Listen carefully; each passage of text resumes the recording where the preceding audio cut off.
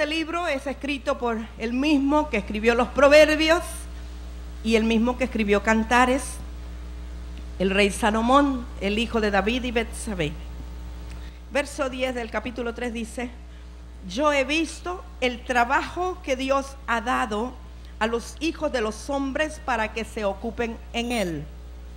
Todo lo hizo hermoso en su tiempo y ha puesto eternidad en el corazón de ellos, sin que alcance el hombre a entender la obra que ha hecho Dios desde el principio hasta el fin. Yo he conocido que no hay para ellos cosa mejor que alegrarse y hacer bien en su vida. Y también que es don de Dios que todo hombre coma y beba y goce el bien de toda su labor. He entendido que todo lo que Dios hace será perpetuo. Sobre aquello no se añadirá ni de ello se disminuirá. Y lo hace Dios para que delante de él teman los hombres. Aquello que fue, ya es. Y lo que ha de ser, fue ya. Y Dios restaura lo que pasó. Qué tremenda esta palabra. Voy a leer de una vez otros versos aquí y después platicamos. En el verso 19, siempre del capítulo 3. Porque lo que sucede a los hijos de los hombres y lo que sucede a las bestias, un mismo suceso es. Como mueren los unos, así mueren los otros. Y una misma respiración tienen todos. Ni tiene más el hombre que la bestia, porque todo es vanidad. Todo va a un mismo lugar. Todo es hecho del polvo. Y todo volverá al mismo polvo. ¿Quién sabe qué es el espíritu de los hijos de los hombres? ¿Quién sabe que el espíritu de los hijos de los hombres sube arriba y que el espíritu del animal desciende abajo a la tierra? Nadie sabe. Así pues, he visto que no hay cosa mejor para el hombre que alegrarse en su trabajo, porque esta es su parte. Porque ¿quién lo llevará para que vea lo que ha de ser después de él? Hasta ahí vamos a leer por este momento. Yo quiero que esta mañana usted pueda pedirle al Espíritu Santo que le revele lo que vamos a hablar o lo que hemos leído. Aquí nos está hablando del espíritu del hombre, del espíritu humano. En una ocasión, creo que alguien aquí dijo o enseñó, compartió, que los animales no tenían espíritu, que por, por cuanto no tenían espíritu no podían adorar a Dios. Pero yo siempre he tenido una inquietud al respecto. Y la vez pasada que vino hermano Yohani, eh, comentábamos de eso, por un ejemplo que él dio de algo de unas aves allá en la India. Eh, si usted nota, los animales perciben mejor que los hombres el espíritu de muerte. Y esto no es superstición. Cuando el ángel de la muerte anda rondando una colonia, un barrio, los perros empiezan a aullar. ¿Usted se ha dado cuenta de eso? Es porque los animales perciben o ven, yo no sé, sienten el espíritu de muerte que anda rondando. Nosotros muchas veces no lo percibimos. ¿Por qué razón? Porque tenemos tan desarrollada la, la mente, el cerebro, estamos pensando siempre en otras cosas, estamos siempre en actividad, nuestra alma siempre está produciendo ruido y cuando quiere estar acallada nosotros le metemos ruido ¿Cuántos aquí a veces no pueden estar en silencio consigo mismos? Van en el carro y no pueden ir en silencio, tienen que prender la radio. O llegan a la casa y tienen que poner el televisor. Y si no el equipo de sonido, y algunos tienen las dos cosas, y si posible un Nintendo y unas maquinitas que hacen ruido por atrás, y si posible también la licuadora o algo más, ¿verdad? Como que el alma tiene una necesidad de estar oyendo ruido, pero el espíritu no todo ese montón de ruidos interiores, y algunos que entran del medio externo y otros los producimos nosotros, obstaculizan el discernimiento espiritual. ¿Cuántas veces la Escritura nos dice, estad quietos y conoced que yo soy Dios? En quietud y en confianza será vuestra fortaleza, en quietud y en reposo seréis salvos. Está hablando de una quietud del alma para que el espíritu pueda recibir o pueda percibir. Y cuando yo leí esta escritura a la que el Señor me llamó, pude confirmar lo que yo estaba sintiendo. Aquí eh, Salomón está hablando de que tanto el hombre como el animal tienen un espíritu, eso es lo que dice. Y dice que ambos van a pasar el mismo proceso, que su cuerpo va a irse a la tierra, va al polvo de donde provino, porque polvo somos y en polvo nos convertiremos. Pero el espíritu vuelve a Dios que lo dio. Y me llama mucho la atención aquí, hermanos, en el verso 19, ya al final, dice que aún la respiración es la misma. Y por algo la escritura dice, todo lo que respire alabe a Jehová, porque está incluyendo a los animales. Entonces aquí eh, Salomón dice, ¿verdad? Que ambos mueren de la misma manera, que tanto los hijos de los hombres como las bestias pasan por el mismo proceso, todos tienen la misma respiración. Dice, ni tiene más el hombre que la bestia, porque todo es vanidad. Entonces, lo único que nos distingue aparentemente de los, de los animales es el cerebro, que somos animales racionales, así aprendimos nosotros, ¿verdad? Que éramos animales, pero racionales. De hecho, la palabra animal viene de ánima, que quiere decir alma. O sea que tenemos alma, solo que nosotros, los seres humanos, razonamos. Un alma eh, viviente, ¿verdad? Entonces, dice que todo es vanidad, o sea que no hay diferencia, lo único el cerebro, pero que de todas maneras ese cerebro que razona siempre va a ir a la tierra y se va a corromper porque todo es vanidad. Y lo único que vuelve a Dios que lo dio es el espíritu del hombre, porque es lo único que el hombre tiene que no es vanidad. Y ese es mi punto esta mañana cuánto nosotros debemos de atesorar nuestro espíritu y cuánto nosotros debemos entender lo que hay en el espíritu y lo que es el espíritu del hombre para que sepamos que es lo único en nosotros que no es vanidad. Dice aquí Salomón que él tuvo una visión, una revelación. Él pudo ver en el espíritu, dice, el trabajo que Dios le había dado al hombre para que el hombre se dedicara a él y se gozara en el trabajo. Nosotros sabemos que la escritura dice que Dios preparó obras de antemano para que nosotros anduviésemos en ellas. Y dice más adelante en los últimos versos que leímos que más le vale al hombre que se contente en su trabajo, porque eso el Señor se lo ha dado, se lo ha regalado. Entonces yo quiero ir a algo más profundo. Allá antes de todos los tiempos, porque aquí también dice que lo que era ya fue y lo que, lo que será ya fue. ¿Por qué? Porque Dios vive en eternidad. En el espíritu del hombre no hay pasado, presente ni futuro, porque el espíritu del hombre le pertenece a Dios, viene de Dios y va para Dios que lo dio. Yo espero que usted sepa en este día cuál es su destino, de dónde viene y para dónde va. Si a mí me preguntan de dónde viene, vengo del Padre y para dónde va, voy para el Padre. Es lo único, ese es mi destino. De allá vengo y para allá voy. Todo lo demás en esta tierra es circunstancial y es muy temporal. Pero lo que es dado de Dios es perpetuo, es perenne, es para siempre. Dios miró desde antes de todos los tiempos los espíritus o hálito de vida, el espíritu humano que usted tiene, que yo tengo, espíritu con E minúscula. Y Dios designó y determinó en qué momento Él haría venir a cada espíritu a la tierra. Por favor, pídale revelación al Espíritu Santo para que no se vaya a meter en algo que no es de Dios. Yo lo que le voy a hablar es en base a la palabra. Y Dios determinó que el espíritu de Raúl Guerra iba a venir en el año 1957, gracias hermano, aquí a esta tierra, porque a Dios le placía en ese momento ese espíritu con unas características importantes y definidas viniera a nacer en la tierra y particularmente en el lugar que Dios designó y escogió para él. Aún los lugares donde nacemos no son accidentales, Dios tiene propósitos y planes. Nuestras vidas están escondidas en Dios y Él tiene cuidado de nosotros desde antes que nosotros le conociéramos, porque Él imprimió un diseño y un destino en el espíritu de Raúl Guerra y Él imprimió un diseño y un destino en el espíritu de Juan Carlos Cruz, en el espíritu de Liliana Barrientos, en el espíritu de cada uno de nosotros, de Miguel Sierra, de cada uno. Dios puso un diseño desde antes de enviar, enviar ese espíritu a esta tierra. Y Él lo envió en el momento que Él quiso y que a Él le plació. Y Dios dijo, cuando vio allá el espíritu de Renier y de Jesús Mejía Caballero, porque Él ya sabía que lo iba a enviar un día, dijo, a mí me place que el espíritu de este este varón llegue a la tierra en tal lugar, en tal año, porque allí me, me va a ser de utilidad, porque yo quiero que este espíritu sea parte del mover glorioso de la iglesia del último tiempo. Entonces cuando nosotros entendemos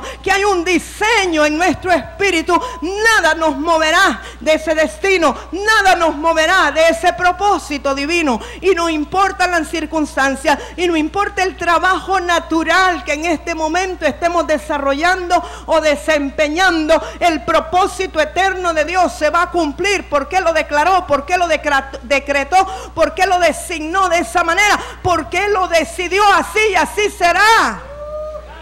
Espero que usted esté convencido de eso. Entonces muchas veces nosotros naturalmente o humanamente somos tan poco espirituales o le damos tan poca importancia a ese espíritu que está dentro de nosotros, que es lo que nos da la identidad y el destino. Y empezamos a dar la importancia a las características externas o en las cosas naturales en las cuales nos ocupamos o las cuales desarrollamos.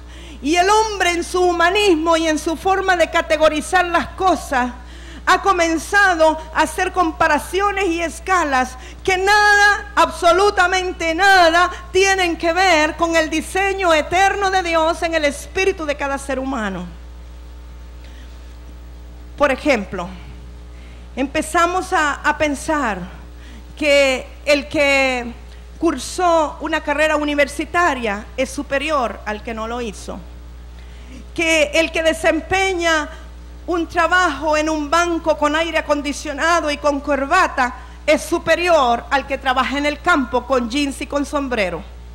Empezamos a creer de una manera natural que la persona que desempeña labores domésticas es inferior a la mujer ejecutiva. ¿Y dónde dice eso en la escritura? Si lo que importa para Dios es el diseño que Él colocó en tu espíritu desde antes de la fundación del mundo. Si tú te dieras cuenta y vieras en el espíritu lo que Dios puso, lo que Dios diseñó, lo que Dios cinceló en tu espíritu, no le darías ninguna importancia a las circunstancias naturales que hoy te rodean porque estarías plenamente convencido que aquello que Dios cinceló, aquello que Dios determinó, aquello que Dios diseñó, aquello que Dios estableció, será, será y se cumplirá. Lo que hacemos en esta tierra es circunstancial. Pero bien dice Salomón, más le vale al hombre que se contente con su trabajo. Hace días Dios me tiene con esto de que muchas veces estamos tan insatisfechos y tan descontentos con el trabajo natural que estamos desempeñando. Y eso es porque somos tan carnales que no podemos ver. Somos, digo, me incluyo, no estoy insultándole a usted. Somos tan naturales, tan carnales, tan animales, que no podemos ver el diseño divino de Dios en nuestro espíritu. Si pudiéramos atisbar así introspectivamente, ver ese propósito eterno y ese destino de Dios en nuestras vidas, la circunstancia natural del presente no interferiría para nada el cumplimiento de ese destino. Y muchas veces, cuando dejamos de ver al Espíritu y empezamos a ver a lo natural, por supuesto vamos a empezar a ver un montón de limitantes, vamos a ver un montón de incapacidades, vamos a ver un montón de debilidades. Pero ¿qué es eso para Dios? Si Él dice que Él comenzó la obra, Él la perfeccionará. Si Él nos escogió desde antes de la fundación del mundo y Él dice que aquellos que escogió, a eso justificó, a eso santificará y luego glorificará. ¿Acaso dice ahí que hay alguna interferencia o que hay algún impedimento por causa de lo que en lo natural nosotros estemos desarrollando? A Dios le da lo mismo las tinieblas que la luz. A Dios le da lo mismo que usted esté trabajando recogiendo la basura o que usted esté trabajando como un ejecutivo dando instrucciones todo el día. A Dios eso no le interesa, ni le estorba su plan, ni lo inmuta, ni le para el propósito que Él tiene con usted. Lo que, en lo que Él está interesado es en la vida interior del hombre, la que está cincelada en el espíritu del hombre, que esa es la que va a determinar la época gloriosa de la iglesia en la cual a Él le ha placido colocarnos.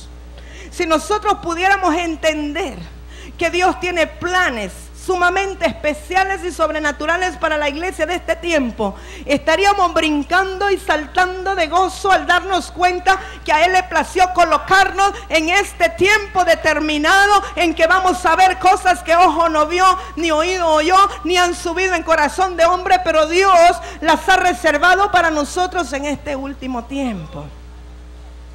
Hermanos, necesitamos entender lo que es el espíritu del hombre antes de que nosotros reconociéramos a Jesús, quizás nosotros decíamos que éramos cuerpo, alma y espíritu, y algunos solo decían que eran cuerpo y alma, porque la iglesia romana enseña eso, ¿verdad? Que solo es cuerpo y alma. Pero nosotros entendemos a la luz de la palabra que el hombre no solamente tiene un espíritu, sino que cuando reconoce a Jesús y la vida de Dios, se da cuenta no que tiene un espíritu, sino que es espíritu. Nosotros somos espíritus vivificantes. Entonces nosotros ahora no es que tenemos cuerpo, alma y espíritu. Ahora podemos decir con convicción, porque el Espíritu Santo nos ha alumbrado y a la luz de la palabra, que nosotros somos un espíritu que tiene un alma y vive en un cuerpo, que hay una diferencia. Antes usted no tenía identidad. Antes usted por lo menos no conocía su identidad. Y como dice Jesús, vosotros sois de vuestro padre el diablo. No sabíamos de dónde éramos ni de dónde veníamos. Ahora el Espíritu de Dios nos ha revelado a la luz de la palabra que venimos de Dios, hemos vivido en la eternidad, hemos estado con Él desde antes de la fundación de todos los tiempos. ¿Sabe? Quiere que le diga algo, le voy a compartir algo, una revelación. Su Espíritu ya fue enseñado en el trono de Dios antes de todos los tiempos y antes de que usted naciera aquí en lo natural. Ya su Espíritu fue enseñado por Dios en su trono. Usted lo único que tiene que hacer es descubrir lo que ya fue impreso en su espíritu. Si me puede entender lo que le digo. Por eso, ¿para qué tanta teología y tanto conocimiento? Si lo que tienes que descubrir lo que ya está en su espíritu. No es una herejía lo que estoy diciendo, lo puedo comprobar bíblicamente. Ya está allí impreso. Por eso, amados, muchas veces cuando leemos algo en la escritura, es como que ya lo sabíamos, ya lo vivimos, pero no sabíamos que estaba escrito, pero sí sabíamos que estaba en el Espíritu. Y aquí lo dice, en esta palabra que leímos, la, primera dice en el 15, aquello que fue ya es, y lo que ha de ser fue ya, y Dios restaura lo que pasó. No hay nada nuevo debajo del sol. Todo Dios ya lo hizo y lo inventó. Los que se creen que son grandes descubridores, grandes científicos, que chascos se van a llevar. Todo ya se sabe, no hay nada nuevo. Lo único que hace el hombre es descubrir lo que ya Dios hizo y lo que Dios inventó. O sea, como quitarle el velo, ¿verdad? Y aún lo que pasó que no estaba bien en nuestra vida antes de que conociéramos al Señor, Dios mismo lo restaura por amor a esos espíritus que Él ya tenía determinado desde antes de la fundación del mundo para cumplir un propósito y un destino en esta tierra. Usted necesita saber que tiene o que es un espíritu, y un espíritu vivificante, que usted es un ser bidimensional, que vive en el reino de los cielos, pero con su alma y su cuerpo anda en esta tierra. Y usted anda aquí, pero no es de aquí, porque usted va a volver allá de donde vino, ¿me entiende? Espero que se dé cuenta de eso. Por eso no se arraigue a las cosas de este mundo. No se arraigue a lo que es vanidad. No se arraigue ni siquiera a las personas de carne y hueso. Porque eso hoy es y mañana no es. Y lo único que permanece es el espíritu. Y el espíritu de aquellos que no estén en unidad con Dios, usted no los va a ver después. Aunque sea doloroso, pero eso es así. ¿Cierto? ¿Para qué arraigarnos a una casa? ¿Para qué arraigarnos a un carro? ¿Para qué arraigarnos a una ciudad? ¿Para qué arraigarnos a un país? ¿Para qué arraigarnos a un título o a un ministerio cristiano? ¿Para qué arraigarnos a una gloria temporal? ¿Para qué arraigarnos a una profesión? ¿Para qué arraigarnos a zapatos y vestidos? Aunque me gustan los zapatos también. Pero no nos podemos arraigar. Todo perece Hoy es y mañana no es. Y lo único que permanece es el espíritu del hombre. Todo es vanidad. Todo es vanidad. Los aparatos sofisticados, la tecnología, todo eso es vanidad. Y las sorpresas que nos vamos a llevar cuando estemos delante de la presencia del Señor y nos demos cuenta que el Internet más sofisticado y la iglesia cibernética de mayor profundidad, ya el Señor la conocía desde antes de todos los tiempos. Y nosotros estamos tan limitados inventando y descubriendo cosas y pagando dinero por ellas cuando realmente todo es del Señor. ¿Sabes qué va a ser tan maravilloso? Porque todo va a ser un abrir y cerrar de ojos. La iglesia primitiva pudo saborear un poquito de eso. Felipe fue transportado en el espíritu. Qué emoción para los que no les gusta viajar. Yo anhelo ese tiempo de Felipe. Hermanos, yo soy misionera de corazón. Pero cada viaje en avión me roba 10 años. Porque me estresa el avión. Entonces, qué bueno ser como Felipe y ser transportado para ir y, y, darle un mensaje a alguien en la India, otro en el África, otro en la Tierra del Fuego. Todo va a ser Usted ni se imagina cómo son las cosas en el reino. No tenemos ni idea. No vamos a tener un cuerpo limitado que nos atrase. Vamos a poder traspasar la materia. Todo esto natural es cuerpo de muerte. Esto es, esto es corruptible que nos impide hacer todo lo que Dios quisiera que pudiéramos hacer. Porque estamos aquí encajonados, estamos esclavizados a un cuerpo mortal por un tiempo determinado. Pero habrá un día que seremos totalmente libres y ya este cuerpo no nos detendrá ni nos retendrá para poder estar en el trono de Dios, adorándole y alabándole en espíritu. Y sabe lo maravilloso, no va a haber problema de tener que aprender inglés, ni francés, ni italiano, ni alemán, ni todos los idiomas que le roban la cabeza a la gente, porque todos nos vamos a entender, porque el único lenguaje será en el espíritu y será el del amor y no habrá necesidad que abramos la boca, todos así como en Pentecostés nos vamos a entender los unos a los otros. O sea que todo lo que hay aquí en la tierra y lo que estudiamos es vanidad. En el espíritu, todo eso se traspasa. ¿Sabe? Yo conozco varias personas que aprendieron inglés sin aprender. O sea, que saben inglés sin haber estudiado nunca. Conozco personas que aprendieron a leer sin aprender. No sé si me explico siervos del Señor que los he escuchado como traductores y yo he ido y le digo, qué tremendo, ¿y dónde aprendió usted el inglés? Qué bien lo habla. dice, no, nunca lo estudié. ¿Cómo que no? No, le pedí al Señor el don sobrenatural. Yo quería traducir a los misioneros que venían y un día me puse y el Señor me dio el don y, y ya. Y conozco una persona que es pastora en San Pedro Sula y estuve traduciendo juntamente con ella y yo no podía creer que ella jamás estudió inglés. Y conozco siervos que han ido a otras naciones, no conocen el italiano, no conocen el francés, no conocen el idioma que se habla en el lugar y de pronto comienzan a profetizar en la lengua perfecta, porque el Espíritu de Dios conoce todos los idiomas, conoce todas las lenguas, conoce todas las cosas. En Él está la plenitud de todo. Nosotros somos pobres seres humanos limitados si no nos damos cuenta que somos un espíritu que tiene un alma y vive en un cuerpo que un día se va a ir a la tierra. Amado, yo espero que usted pueda como posicionarse un poquito en la dimensión que, yo quisiera que, o que Dios quisiera que pudiéramos vivir. Cuando nos demos cuenta de que esto es una realidad, lo que estamos hablando, entonces no estaríamos tan arraigados a las pequeñeces de este mundo que nos impiden disfrutar la gloria de Dios y la presencia de Dios. Fíjese que la escritura dice que Juan el Bautista Allí en el capítulo 1 de Lucas, creo que es verso 80, no tiene que buscarlo. Pero dice que Juan el Bautista crecía y se fortalecía en espíritu. Eso me lleva a mí a pensar que los niños, porque es cuando era niño, que crecía y se fortalecía en el espíritu, y luego dice que fue llevado al desierto, y sé que aún el ser llevado al desierto era para fortalecer más su espíritu. Y también en Isaías usted puede leer que Jesús dice que se alimentaba de dos cosas, de mantequilla y de miel, ¿verdad? Hasta que supiera discernir entre lo bueno y lo malo. Y yo sé que eso es algo eh, espiritual y profético, que no está hablando necesariamente del alimento físico, porque no tendría nada que ver discernimiento con mantequilla y con miel, está hablando de algo espiritual. Pero hablando de lo de Juan el Bautista, que el espíritu del niño se fortalecía, eso me lleva a declarar una palabra para los padres esta mañana. ¿Cuántos sabemos que los hijos que Dios nos ha prestado son de Él?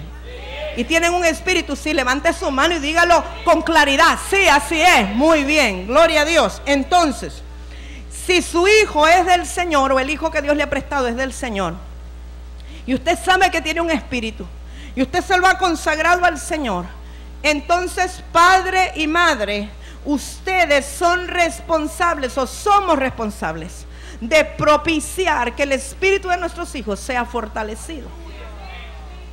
¿Qué hacemos nosotros para que el espíritu de nuestros hijos sea fortalecido? ¿Sabe? Yo he escuchado padres que lamentablemente dicen, ah, no, es que ellos son libres de decidir. Yo no los puedo obligar a ir a la iglesia. ¿Cómo que no los puedo obligar a ir a la iglesia? Son sus hijos, son menores de edad, viven en su casa. No es que los va a obligar, es que les va a decir, aquí mi hijito nos vestimos y nos vamos todos a alabar al Señor.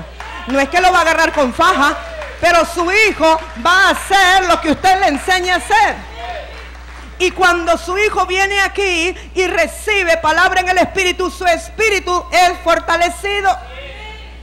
Su espíritu se fortalece, porque ¿con qué se fortalece el espíritu del hombre? Con la adoración, con la alabanza, con la oración, con la palabra de Dios, con la administración espiritual. ¿Usted quiere que su hijo cumpla el llamamiento con el cual Dios un día lo designó y lo destinó? Bueno, más le vale que lo lleve donde haya toda actividad espiritual.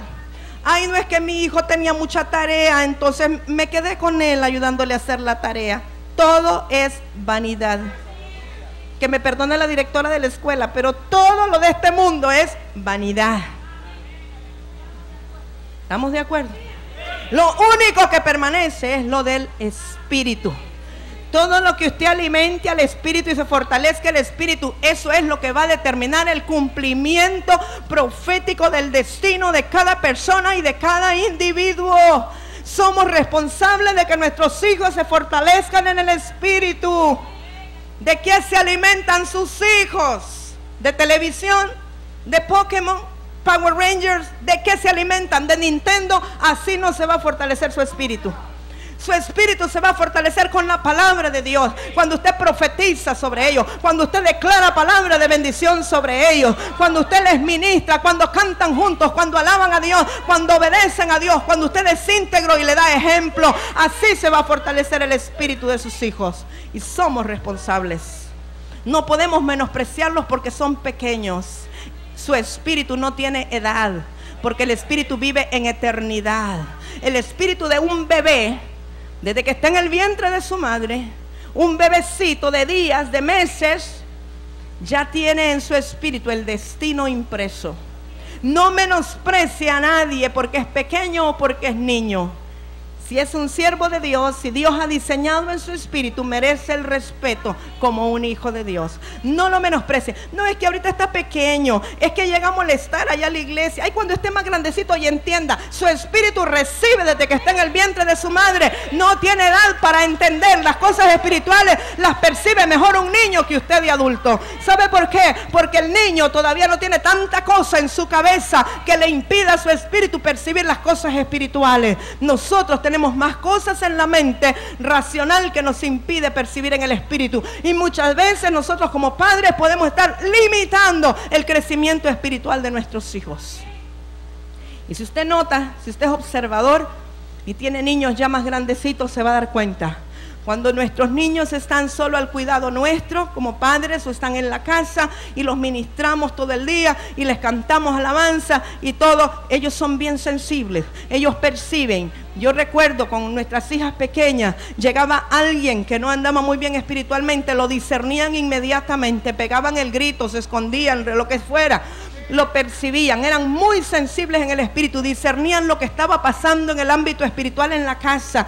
Pero un momento, una vez que empiezan a ir a la escuela y empiezan a, a platicar de otras cosas y empiezan a tener relación con personas que no edifican su espíritu, entonces ellos como que el discernimiento se les va opacando y entonces empiezan a ser más naturales y más carnales y menos espirituales. Empieza a haber un desequilibrio. Por eso yo insisto y digo una vez más, la educación y la escuela tiene que estar en manos de la iglesia para que desde niño se instruya al niño en su camino, para que se les ministre espiritualmente. Y no solo la iglesia, sino que los maestros necesitan ser personas consagradas a Dios para que ayuden a nuestros niños y a la generación que viene, a que ellos crezcan espiritualmente, sean ministrados espiritualmente y en nuestra nación se cumpla la visión de Dios y el propósito eterno y la visión profética de Dios Para esta nación. Somos responsables. Amén. Esto era al margen, pero siempre estamos hablando del espíritu del hombre. Quisiera que fuéramos a Efesios, hermanos, en el capítulo 3, hablando siempre de lo mismo. Capítulo de 3 de Efesios es una de las escrituras que a mí más me impresiona, lo que aquí dice. Vamos a leer el verso 14.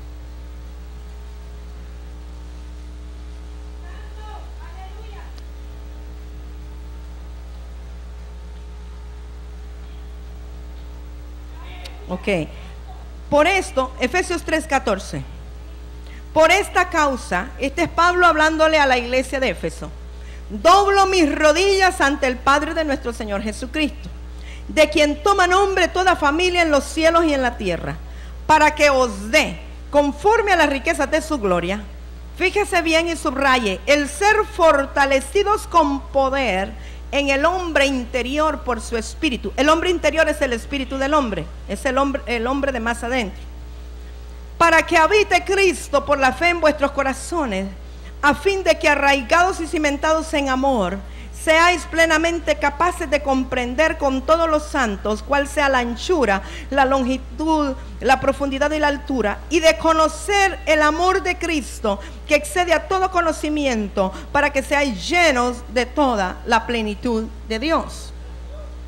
A mí me llama mucho la atención, y el mensaje central aquí es, que conforme a sus riquezas en gloria, el Señor nos dará el ser fortalecidos con poder en nuestro espíritu, por su Espíritu Santo.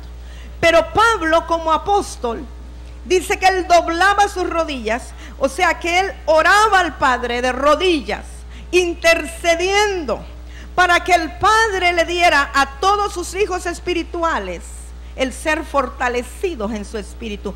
Pablo sabía la importancia de que estos discípulos fueran fortalecidos en su hombre interior o en su espíritu humano a través del Espíritu Santo de Dios. Entonces, ¿quién fortalece el espíritu del hombre? El Espíritu Santo de Dios. Esto nos da a entender que la intercesión de un apóstol determina o toca el corazón del Padre para determinar que la gracia del Padre descienda para que la congregación o el pueblo sea fortalecido en su hombre interior, conforme a las riquezas en gloria que hay en el Señor. Y esto me eh, fue como un chispazo para mí, como que me abrió los ojos de la responsabilidad que nosotros tenemos de interceder por el pueblo que Dios ha puesto a nuestro cuidado, el pueblo que nosotros sabemos que Dios ha traído con propósito santo para interceder que ellos sean continuamente fortalecidos en su hombre interior a través del Espíritu Santo de Dios. Y esto para que lo tomen los pastores, por favor, esta palabra, que nuestra intercesión y nuestro clamor sea esta, que conforme a sus riquezas en gloria, el Padre de las luces, el Padre de nuestro Señor Jesucristo, conceda por su Espíritu Santo el que los hermanos sean fortalecidos en su hombre interior. Porque si el hombre interior está debilitado, hermanos, no podremos sobrellevar las batallas, no podremos sobrellevar las tentaciones, no podremos sobrellevar todas las afrentas del enemigo. El hombre interior o el espíritu del hombre necesita estar fortalecido. Ahora, nosotros no podemos obligar a la persona. Yo no puedo obligar a nadie ni traerlo amarrado a que venga a la iglesia. Yo no lo puedo obligar a que adore a Dios. Yo sería religiosidad y sería inútil, no tendría fruto. Yo no lo puedo obligar a que lea la palabra o a que tenga intimidad con Dios. Pero puedo interceder al Padre para que el Padre toque los corazones y produzca en ellos el fortalecimiento o en ustedes el fortalecimiento del hombre interior. Y cuando el hombre interior es fortalecido o el espíritu del hombre fortalecido, entonces en nuestro interior hay un deseo de santidad y hay un deseo de comunión con el Espíritu Santo, hay un deseo de todo lo que es divino, lo que es santo y lo que es puro. Pero cuando el hombre interior está debilitado, entonces lo único que a la persona le interesa es el chisme, perder el tiempo, ver novelas, ir al mall, salir a las tiendas. Hay personas aquí, yo lo sé por el Espíritu, que tienen la compulsión de ir a ver tiendas y que si una vez a la semana no han ido al mall, se sienten desfallecer. quiera Dios que así se sintieran, ¿verdad? Cuando no han leído la palabra todos los días. Pero podemos interceder como autoridades delante del Señor para que Él fortalezca el hombre interior de los hermanos y que siempre haya esa sed eh, vehemente de la presencia del Señor. Es tan importante ser fortalecidos y cuidar, hermanos, nuestro hombre interior. Quisiera que viéramos en Primera de Corintios, yo quiero hablar un poquito sobre la unidad. Santo eres Dios. Eh, y yo espero, hermano, que lo que usted está recibiendo este día, lo atesore y le pida al Espíritu Santo que le dé más revelación para que esto se transforme en vida en usted. En el capítulo 6, verso 17, es un verso chiquito el que vamos a leer en Primera de Corintios, pero este es tan importante para entender la unidad, hermano.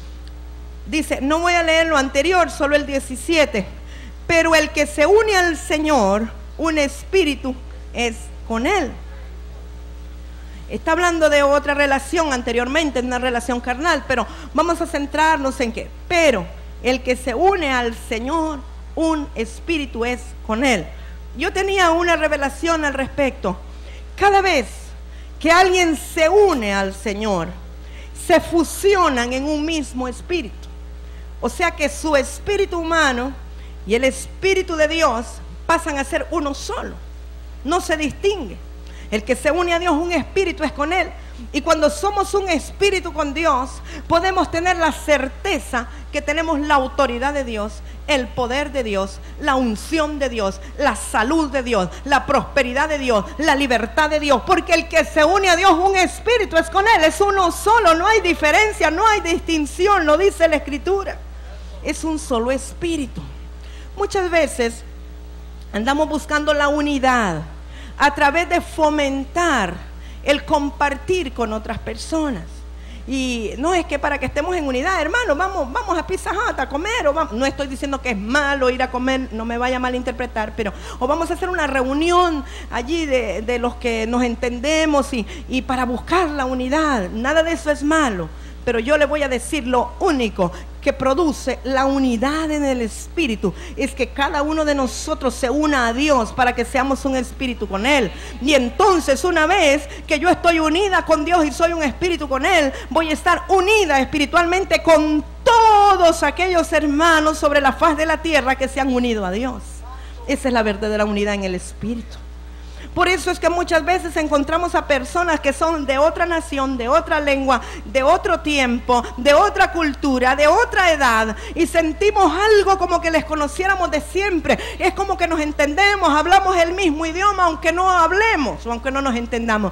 Porque tal vez aquella persona se ha unido a Dios y es un espíritu con Él y también nosotros nos hemos unido a Dios y somos un espíritu con Él. Y entonces, unidos todos a Dios, nos encontramos en un solo lugar, que ese es el cuerpo de Cristo que tiene un mismo sentir, un mismo pensar, unánime juntos, aunque no nos veamos ni nos conozcamos, pero estamos unidos a Dios en el Espíritu.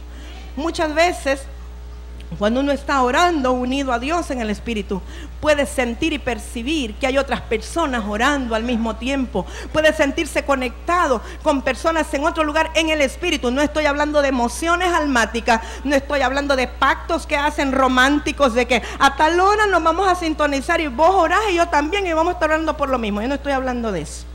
Esa es otra cosa. Estoy hablando de unidad en el espíritu. Uno se mete en el ámbito de Dios, uno se mete en el espíritu. Hay unidad, uno solo con Dios. Y entonces percibe que hay otros que están en unidad con Dios. Percibe que hay otros en el mismo momento que son uno con Dios. Y podemos sentir en ese momento que la unción es tan fuerte y poderosa que somos capaces de sacar almas del infierno porque hay algo poderoso, porque estamos unidos con Dios. Es un espíritu con Él, con Él, con Él. Y esto aún para los esposos. A veces creemos, hermanos, y no es que está malo, ¿verdad? Hacer un devocional todos los días o, decimos, no, es que viera que unidos estamos ahora mi esposo y yo. Ya oramos juntos todas las mañanas, dejamos 15 minutos, tenemos un devocional, nos agarramos de las manitos y entonces leemos ahí, ¿verdad? Ay, ¿quién te besará con los besos de tu boca, oh amado? Y entonces ya estamos en unidad. Eso no es unidad. La unidad del Espíritu es más profundo que eso. No es una rutina, no es una religión, no es un devocional. Es estar unidos con Dios. Y estar unidos con Dios es estar alegres con Él en todo tiempo, es hacer su voluntad en todo tiempo, es que todo lo que hagamos le produce a Él contentamiento. Eso es estar unidos con Dios, hermano. Unidos en el Espíritu. Entonces hay una profundidad tal que sabemos, que sabemos, que sabemos cuál es el paso que hay que tomar, cuál es la decisión que hay que tomar, qué es lo que Dios quiere para nuestra vida, qué Dios quiere para nuestro hogar. Muchas veces decimos, hermano, es que no puedo oír la voz de Dios, no puedo, no sé qué me pasa. Pero a veces estoy oyendo la voz del diablo todos los días. Entonces algo no está bien, ¿verdad? Necesitamos ser uno con Él. Pero necesitamos saber y conocer lo que dice la Escritura. El que se une a Dios, un espíritu es con Él. Y si somos un espíritu con Él, no vamos a hacer nada que contriste a su espíritu. Todo lo que hagamos es porque el Espíritu Santo mismo nos mueve y nos impulsa a hacerlo. Porque cuando somos un espíritu con Él, sabemos qué le contenta a Él, sabemos qué le agrada a Él, sabemos qué quiere Él en cada momento. Y eso es unidad de espíritu. ¿Por qué, hermanos, cuando hay una reunión con otras personas de otro lugar? como que no fluye, como que no, ¿y qué es lo que pasa? Y uno dice, bueno, ¿y será que ellos no tienen el Espíritu de Dios? ¿Sabe qué pasa? Que muchas de las cosas que nosotros creemos que son del Espíritu son criterios personales o culturales o de determinada religión o denominación o congregación y cada quien tiene la manera de hacer las cosas a su manera. Pero si en verdad fuéramos un espíritu con Él, entenderíamos y fluiríamos con el querer de Dios al saber que estamos haciendo lo que a Dios le agrada. la unidad con el Espíritu trasciende las fronteras denominacionales, trasciende las fronteras de naciones, de cultura de, todo, de idioma, etcétera, hermano. Un ejemplo lo tenemos con el hermano Yohani. Hermano Yohani Saricumpu viene, él predica sentado, no levanta la voz, ¿verdad? Mira así para arriba, no, no tiene mucha expresión, pero se puede percibir cuando es Dios el que está hablando. No tiene nada que ver con formas de expresión ni con cultura, sino que el que está unido a Dios, un espíritu es con él. Pero estamos tan mentalizados o hacemos tanto las cosas a la naturaleza, conforme a la naturaleza carnal o cultural. ¿Por qué, hermano, usted cree que al latinoamericano le gusta tanto la alabanza salsera? ¿Usted cree que eso es del espíritu? Eso no tiene nada que ver con el espíritu, tiene que ver con la cultura y con la carne. Y el ritmo que le gusta al hondureño o al colombiano. O eh, en Colombia, pues eh, es cumbia, eh, cumbia cristiana y así según el país, ¿verdad? Y eso es cosa cultural, eso no tiene nada que ver en sí con el espíritu. Pero el espíritu es uno. Y cuando estamos unidos al espíritu de Dios, hay un canto que dice aleluya, aleluya, que no importa en qué idioma lo cante y no importa en qué ritmo lo cante. Y si eso le agrada al Señor, todos vamos a poder experimentar la presencia del Señor y el anhelo de adorar y de agradar a Dios. Por eso no juzguemos muchas cosas pensando que son o no son del Espíritu, simplemente porque le agradan o no le agradan a nuestra persona, a nuestro criterio o a nuestra forma de hacer las cosas. Necesitamos que el Espíritu de Dios nos redarguya y nos enseñe y nos despojemos de todo lo vano, toda vanidad, de toda carnalidad, de todo lo que es aprendido, lo que es religioso, lo que es cultural, todo lo que es de la mente, lo que es de los sentimientos, para que podamos percibir de verdad lo que es de Dios, porque el que se une a Dios, un espíritu es con Él, no un alma, no un cuerpo, sino un espíritu es con Él. Y nuestro espíritu será enseñado a través de unirnos al Espíritu de Dios en intimidad con Él. Solamente en intimidad con Dios podemos unirnos a Él. Ya casi vamos a terminar, hermano. Ah, sí, ya tuvieron que editar el video. Bien, Romanos 8.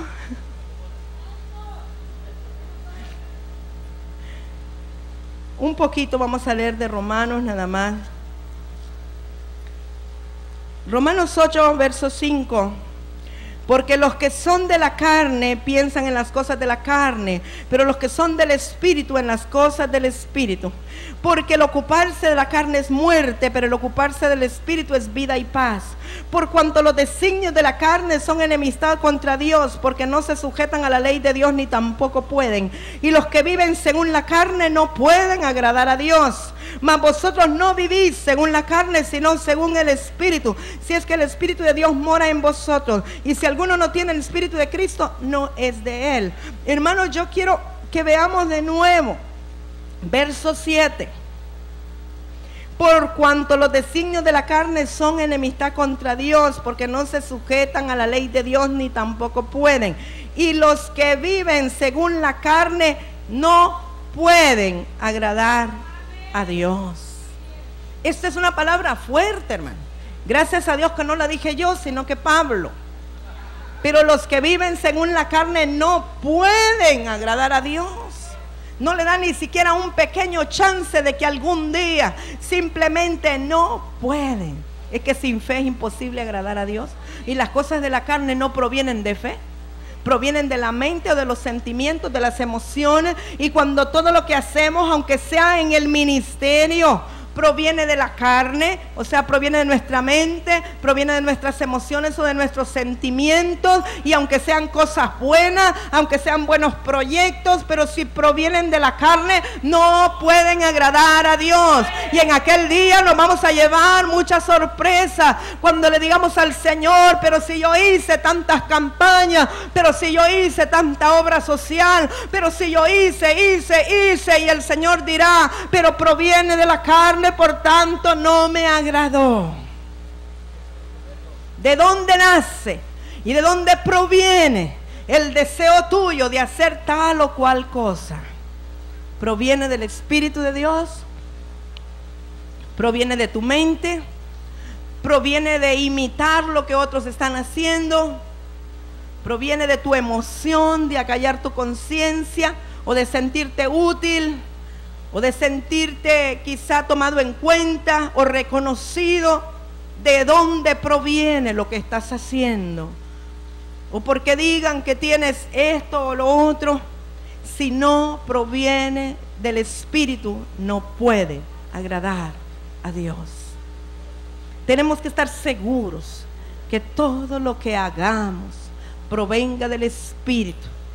El que anda en la carne cegará de la carne y será corrupción lo que pueda cegar. Y puede cegar dinero, puede cegar reconocimiento ministerial, puede cegar diploma, pero eso es para corrupción porque eso es vanidad, eso se termina. ¿Verdad? Cuando hablamos de corrupción no necesariamente estamos hablando de que la persona se va a corromper, estamos hablando de que va a cegar o va a cosechar cosas vanas naturales que van a ser corruptibles. Pero todo lo que viene del Espíritu y hacemos en el Espíritu y por el Espíritu, lo que vamos a cegar, aunque no lo veamos ahora, estará en nuestra cuenta en el Espíritu.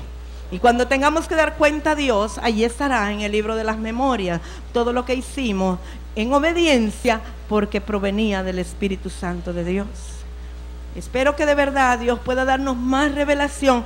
Yo creo que si la iglesia de Jesucristo tuviera una verdadera revelación de esto, estoy hablando de la iglesia en toda la faz de la tierra y me incluyo yo por supuesto, creo que tendríamos menos actividad, menos palabrería y tendríamos más efecto en el ámbito espiritual contra las tinieblas. ¿Por qué usted cree, mi hermano, que aunque hay más iglesias en San Pedro Sula, aunque hay más creyentes ahora en San Pedro Sula que antes, casi la mitad de la población, ¿por qué usted piensa que ahora han proliferado más los prostíbulos, ahora hay más travestis en la calle, ahora hay más homosexuales, ahora ahora hay más lesbianas, ahora hay más drogadictos, ahora hay más corrupción. ¿Por qué cree usted?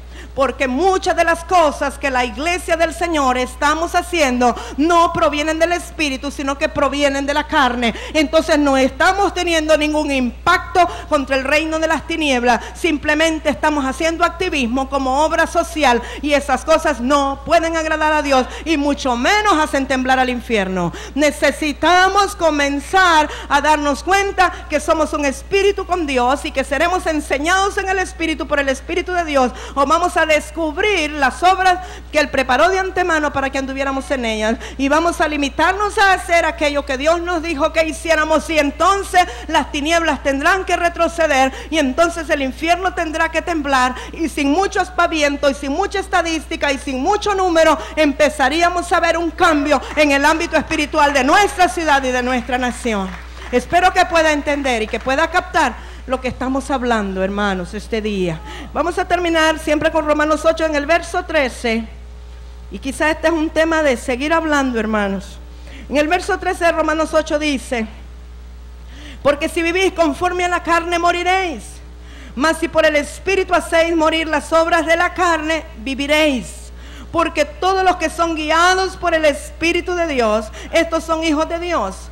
Pues no habéis recibido el espíritu de esclavitud para estar otra vez en temor, sino que habéis recibido el espíritu de adopción, por el cual clamamos, Abba Padre.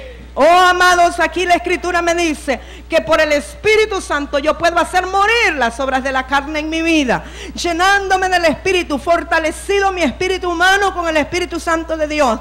Puedo hacer morir las obras de la carne en mi vida. Yo sé, uno sabe cuando está obrando en la carne, porque no se ve el fruto espiritual. Uno sabe cuando lo que está haciendo no proviene del Espíritu de Dios. Pero podemos hacer morir las obras de la carne. Pero qué hermoso que dice que no hemos recibido el espíritu de cobardía. Recuerda, hermano, que el que se une a Dios, un espíritu es con Él. Y si somos un espíritu con Dios, tenemos todas las características de la naturaleza del espíritu de Dios, que es poder, amor, dominio propio, todo lo que Él es. No un espíritu de temor, no un espíritu de esclavitud. Porque si estamos en esclavitud otra vez, entonces es como que no hayamos salido todavía de Egipto. Estamos como esclavos en Egipto o estamos en el desierto con una mentalidad de esclavitud. Pero ya Dios nos ha dado nuestra tierra prometida, la que fluye leche y miel. Ese es Cristo, la esperanza de gloria en nosotros. Cristo, Cristo en nosotros es nuestra tierra prometida, hermano. Él es el que fluye leche y miel. Él es el que se alimentaba de mantequilla, de miel, de leche, para saber discernir lo bueno de lo malo. Él en nosotros, la esperanza de gloria. Es por Él en nuestras vidas que nos damos cuenta que Él es el hermano mayor y nosotros sus hermanos con su misma naturaleza. Y es ese espíritu que está en nosotros que clama y gime y dice, Abba Padre, que quiere decir papito, papaito, papacito. Usted necesita esta mañana salir seguro y convencido que usted es uno con Dios que su espíritu vino del Padre y va para el Padre y que por tanto en su espíritu puede clamar a ese Padre. Una de las doctrinas más fundamentales de toda la Biblia que poco se predica y se enseña es sobre la paternidad de Dios. Yo creo que es necesario que la iglesia comience a enseñar sobre la paternidad de Dios. Hay dos temas importantes que yo siento que Dios va a empezar a remover, la paternidad de Dios y la intimidad con Él. Son dos temas que llevarán a la iglesia a una nueva dimensión. ¿Sabe? Las iglesias están llenas de hijos huérfanos que no saben que tienen un padre de quien heredaron toda su naturaleza y toda su herencia. Pero yo espero que aquí la palabra pueda cincelar y penetrar y que el Espíritu en usted pueda decirle al Padre, Abba Padre, papito, papaito, hermanos de alabanza quieren venir, por favor. Bendito sea el Dios y Padre de nuestro Señor Jesucristo.